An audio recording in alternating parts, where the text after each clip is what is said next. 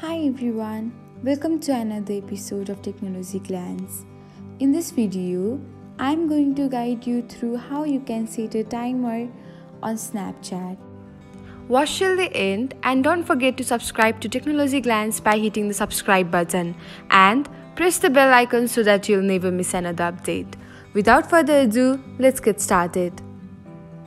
First of all, open the Snapchat app on your device. After that, tap on the watch icon and now select the timer you want. After that, tap on the set timer button and that's it. Congratulations on setting timer for your Snapchat. Thanks for watching. If you found this guide helpful, we will love it if you hit the thumbs up button below. We upload great new tech tutorials like this one every day. So, don't forget to subscribe to our channel and hit the bell icon to get an update as soon as we post a video.